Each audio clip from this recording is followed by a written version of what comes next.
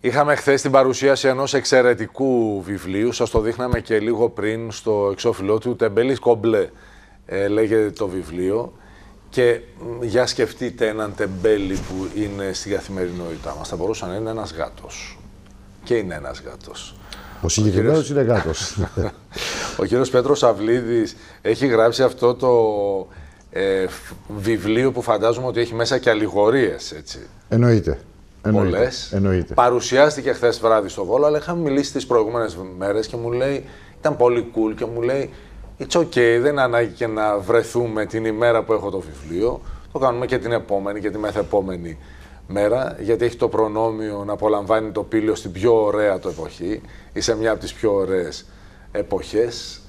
Λοιπόν, αυτό είναι το εξώφυλλο του βιβλίου από τις εκδόσεις του Γαβριηλίδη, Τεμπέλης Κομπλέ. Και πάμε να δούμε λοιπόν τι ιστορία έχουμε εδώ να ξεδιπλώνεται στις σελίδες του βιβλίου. Τι περιμένετε να σας πω. Καταρχάς; Τι ιστορία έχουμε; Για πείτε ιστορία μας έχουμε; ποιος είναι ο ήρωάς σας; Ο ήρωάς μου είναι ένας αλυτόγατος, ο οποίος αλυτόγατος ε, ε, γειτονεύει, ας πούμε, σ- ο τόπος κατοικίας του γειτονεύει με μια νορμάλ μεσοαστική οικογένεια της σημερινής Ελλάδας.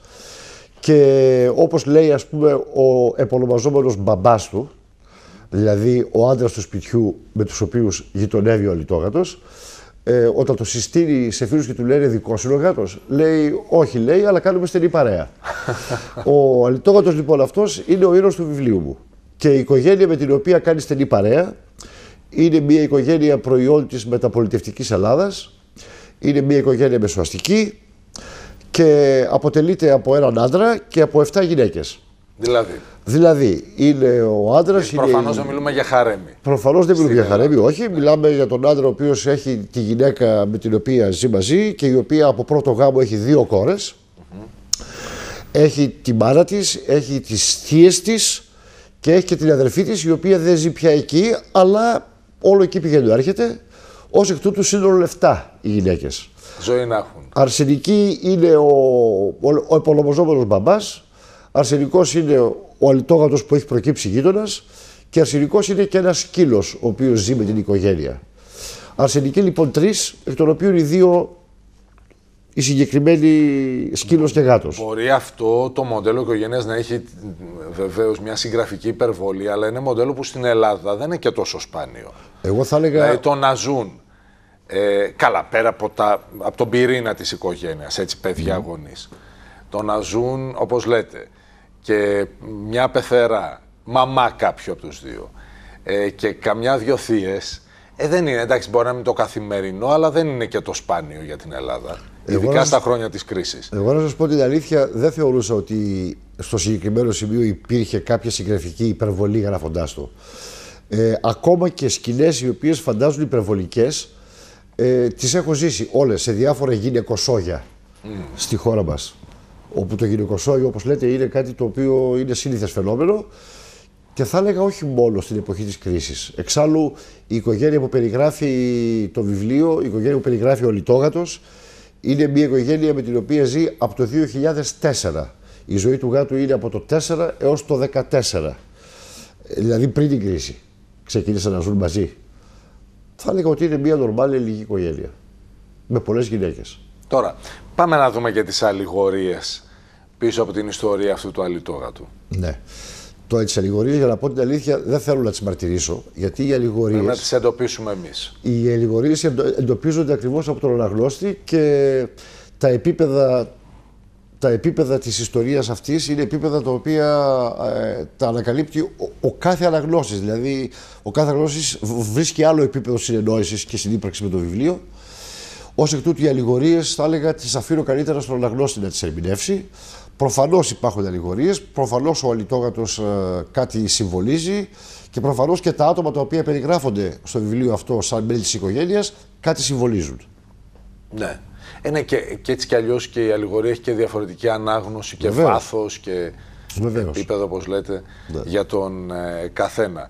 Εσείς έχετε ζώα; Ε, εγώ έχω ζώα στον περίγυρό μου, ζώα ελεύθερα. Δηλαδή, Δηλαδή, π.χ. αλυτόγατος. Ε, δεν... Που μια στο τόσο θα εμφανιστεί και θα φάει από το κουπάκι που του έχετε εσείς τροφή. Ενδεχόμενα και κάθε μέρα, όχι μια στο τόσο. Α. Αλλά δεν είναι ο γάτος ο οποίος Μπαινοβγαίνει σπίτι. μπαινοβγαίνει σπίτι και για τον οποίο νιώθω μια υπευθυνότητα ότι πρέπει να το φροντίσω και να το λιαστώ.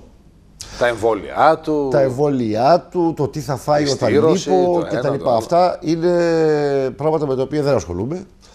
Ε, εξάλλου, ο γάτος, είπατε στήρωση. Ο γάτος ευνοχισμό στην προκειμένη περίπτωση γιατί πρόκειται περί ασθενικού. Ε, ναι. Ο γάτος λέγεται κομπλέ. Διότι Γιατί είναι κομπλέ. Είναι κομπλέ.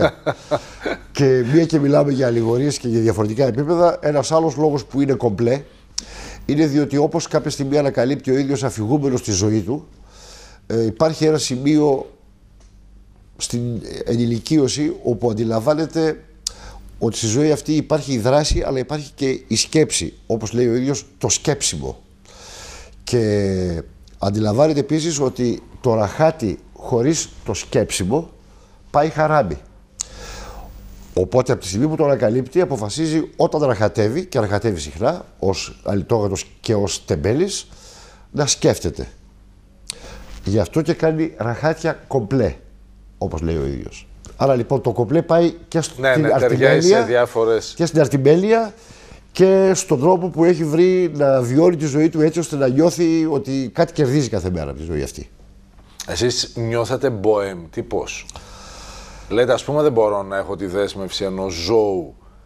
Ε, ούτε και εκείνο θα ήθελα να έχει τη δέσμευση από μένα και τ- αυτή την εξάρτηση. Τώρα κοιτάξτε, αυτό είναι λίγο ενδια- είναι ενδιαφέρουσα η ερώτηση. Διότι ε, σε μία πρώτη ανάγνωση θα μπορούσε κανείς να πει ότι μποέμ τύπος είναι αυτός ο οποίος δεν θέλει δεσμεύσεις.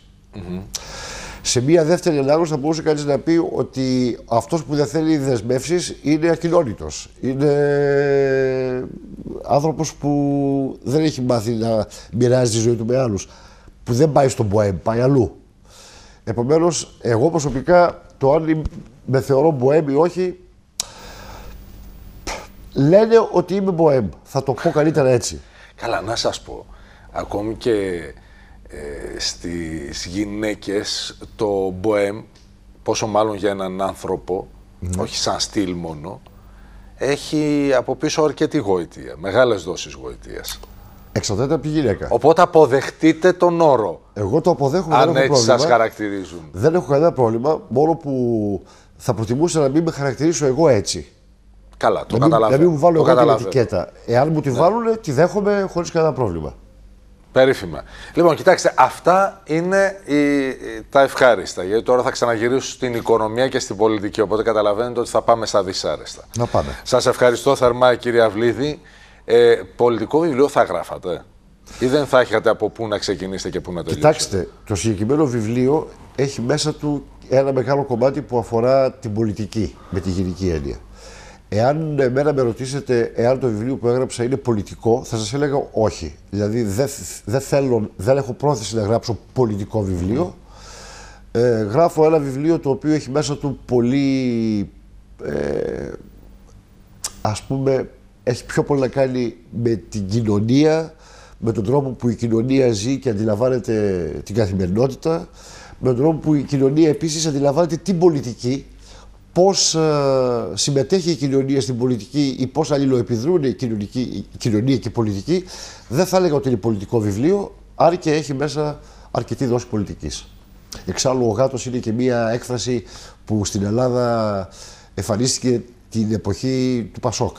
Και μέσα μου είναι, συ- είναι συνυφασμένη με την πασοκοκουλτούρα, ας πούμε.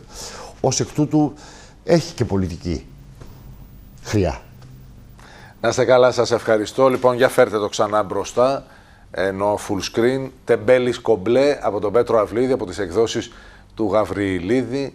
Ένα βιβλίο που δεν απευθύνεται μόνο στους γατόφιλους, έτσι το καταλαβαίνετε. Ο γάτος είναι η αφορμή, είναι αυτά που θα ήθελε να πει η κοινωνία και τα βάζει στο στόμα και στην αντίληψη ενός γάτου που είναι κομπλέ.